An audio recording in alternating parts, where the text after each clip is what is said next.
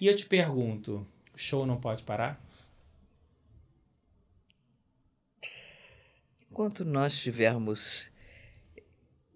esse tipo de olhar para essa,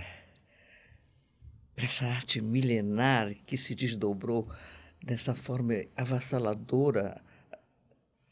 e, e, se multiplicou, não digo em todos os palcos que nós gostaríamos de vê-la, mas que se desdobrou através da comunicação moderna e que, e que engloba o seu trabalho e a sua, a sua vida ali, eu acho que essa palavra é mais, não é bem entusiasmo, amor, uh, dedicação, sacrifício.